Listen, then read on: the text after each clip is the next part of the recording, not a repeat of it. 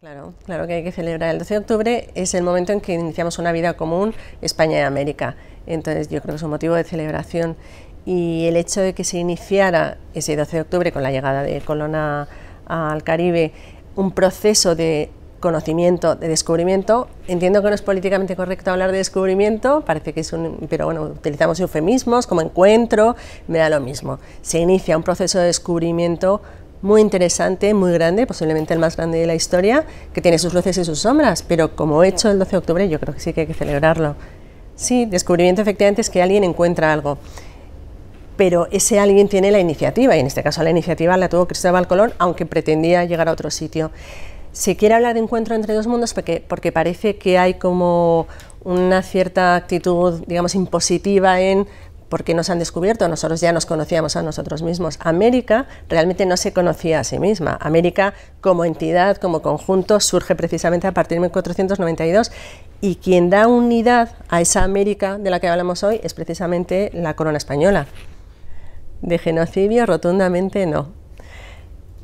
Sé que también es discutido, no sé si es discutible, pero sí es discutido, porque genocidio es una voluntad de exterminar una raza, un pueblo, una religión y poner en marcha un sistema, ¿no? Se hace de manera sistemática y eso en América no sucede, no hay más que ver, digamos, la, la, mm,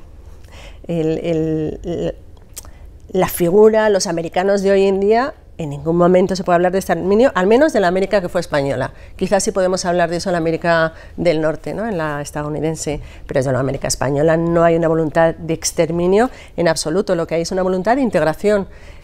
¿Que no siempre se hizo bien? Claro que no, pero que se buscaba el exterminio, para nada. Yo creo que de expolio mm, tampoco se puede hablar, porque lo que hay es una... Mm, es verdad que tenemos que ver las cosas a la luz del contexto. Y hoy una colonización tipo el siglo XIX sí se podría hablar de expolio, en cuanto que un país llega a otro y asume el control de todos los recursos, en el propio beneficio del país colonizador. En el caso español lo que hay es una mm, integración dentro de la monarquía y por lo tanto lo que se hace es gestionar unos recursos que ya son compartidos. Si de verdad solo se hubiera expoliado los recursos que había en América, en beneficio de la metrópoli, si podemos, que yo creo que no se puede hablar de metrópoli refiriéndonos a España, mm, ¿por qué construir universidades? ¿Por qué construir hospitales? lo que hay es un movimiento de recursos. España invirtió en misioneros, en escuelas, en hospitales. Hay cerca de 30 universidades cuando América se independiza. Esas universidades las ha construido España con recursos que son comunes. Seguramente muchos americanos o muchos de los habitantes de los pueblos llamados ahora originarios de América eran felices, pero como seguramente eran felices pueblos de la España prerromana.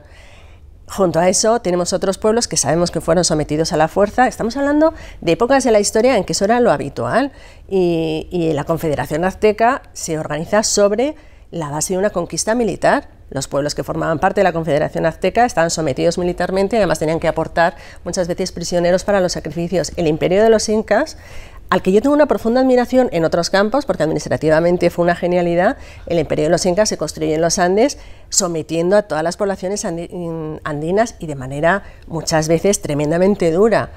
Entonces, felices, pues unos sí y otros no. Precisamente el término inculturación, que me parece que está muy bien utilizado, de lo que habla es de asumir algunos elementos de los que se encuentran en la medida en que son compatibles con la cultura que se aporta allí. Eso es inculturación. Lo otro sería barrer las culturas eh, amerindias, digamos, ¿no? las existentes antes de la llegada de los españoles. Entonces, obviamente, ni la, lo que llamaban los españoles la idolatría, España va allí por un interés colonizador, por un interés económico que no lo podemos negar, pero además y al mismo nivel por un interés eh, evangelizador. Si no hay evangelizador, ah, evangelización, no hay derecho de conquista. ¿no? Según las capitulaciones que se firman y según las bulas del Papa Alejandro VI. Entonces, cuando se va a evangelizar, se va a trasladar allí una cultura que, claro, es la cultura del Renacimiento y que es cristiana. Entonces, en la medida en que se quiere llevar eso allí, que es lo que Europa ha conseguido después de milenios de historia, no es compatible con una idolatría que no, no, no, o sea, que chocaría con la defensa de la fe católica, no es compatible con los sacrificios humanos, no es compatible con determinadas prácticas. lo que sea mm, compatible, lo que se pueda respetar, quedó. De hecho, una manifestación clarísima de esto, por ejemplo, son las lenguas indígenas. No desaparecieron en absoluto todas las lenguas indígenas, algunas sí, como sucede en todas partes, que muchas lenguas van muriendo, ¿no? Pero mm, hay una voluntad clarísima por mantener y por conocer las lenguas indígenas.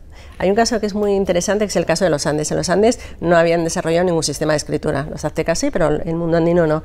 Y precisamente cuando llegan los españoles ponen por escrito con nuestro alfabeto obras en lengua eh, aymara, en lengua quechua, y esa es una de las maneras en las que se ha conservado las lenguas prehispánicas.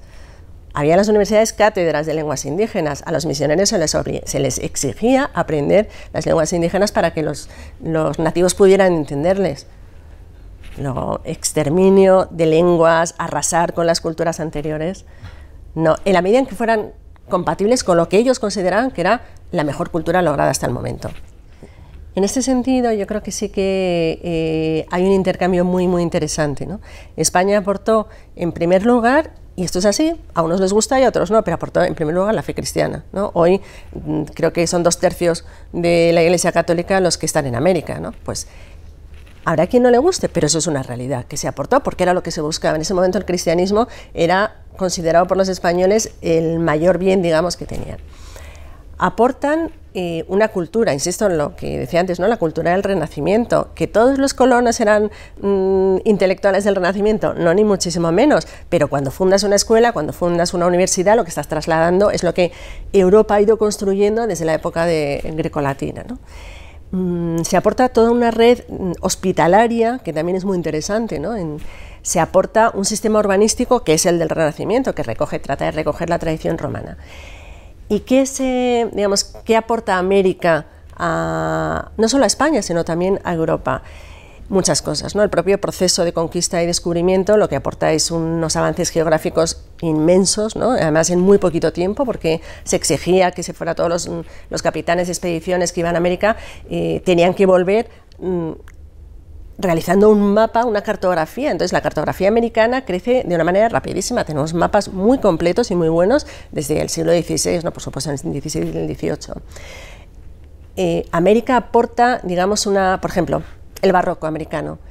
El barroco, que es una realidad muy europea, que surge con Trento, en América tiene unas características, a mi juicio, absolutamente espectaculares. ¿Por qué? Porque la estética indígena, la estética mm, tanto andina como de Centroamérica, es muy plástica, es muy visual, es muy colorista. Entonces, eso aporta al arte, a ese arte que llamamos hispanoamericano, una enorme realidad. Y luego, ya aparte de los productos de la tierra, pues las patatas, ¿no? En España, la patata americana, no, no en España, en Europa, salvo de muchas hambrunas. Pues hasta esas cosas como tan básicas se las debemos a América, aparte del chocolate y esas cosas la emancipación tenía que suceder antes o después. Yo creo que fue se desarrolló antes de tiempo, ni América estaba preparada, ni España estaba preparada. De hecho, hay propuestas en España ya eh, un poquito antes de la emancipación, antes, por lo tanto, de la invasión francesa de la península, que fue como el momento mm, que aceleró la emancipación.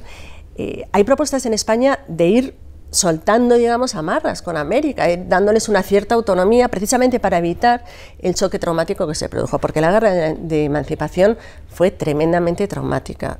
Allí tuvo connotaciones de guerra civil porque no todos los americanos, no todos los españoles de América, que era ese el nombre que tenían, querían romper con España y en España lógicamente también fue traumático, ¿no? Murió mucha gente, hay un, una fuerte componente de guerra civil mm, y España entonces no lo supo gestionar bien, Felipe, Fernando perdón, VII eh, se empeñó en seguir gobernando como un monarca autoritario en unos momentos en los que quizá tendría que haberlo hecho de una manera mucho más moderada y quizá había que ir despacio, haber ido soltando los lazos con América.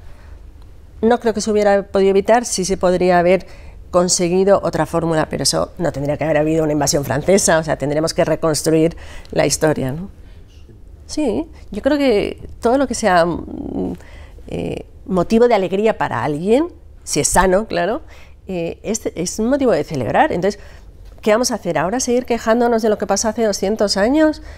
Igual que me parece que no tiene mucho sentido seguir lamentando lo que sucedió en los aspectos negativos de hace 500 años, que los hubo, porque en la conquista de América no podemos negar que hay colonos que explotan, hay funcionarios que se enriquecen a costa de las poblaciones indígenas, a la vez que hay otros muchos que protegen, empezando por la propia corona, ¿no? las leyes de la corona de protección de los indígenas no tienen ningún otro Estado, mm, tiene algo que se pueda comparar ni de lejos a las leyes indigenistas de la corona española. Pero bueno, independientemente de que eh, efectivamente no podemos juzgar con nuestros ojos lo que sucedió hace 500 años y hay que ver los aspectos positivos y negativos, volviendo a las independencias, que era tú, a los bicentenarios de las independencias, que es la pregunta, creo que sí, precisamente porque yo creo que es mucho más lo que nos une a América que lo que nos separa. Entonces, si el nacimiento de una república es motivo de alegría, es motivo de fiestas y de conmemoraciones, celebrémoslo con ellos, no vamos a seguir empeñados en volvernos oros a la época de Fernando VII, como no tendría sentido que mm, algunos americanos sigan anclados en la época de la Confederación Mexica. ¿no? Yo creo que sí, que lo tenemos que celebrar en este sentido em, desde las instituciones, tanto civiles como eclesiásticas, porque el Papa ha hecho eh, tanto Benedicto XVI como el Papa Francisco han realizado ya algunos actos conmemorativos de las, de las independencias y creo que es una cosa muy bonita porque todo lo que una es positivo, lo que separe no sirve para nada. ¿no?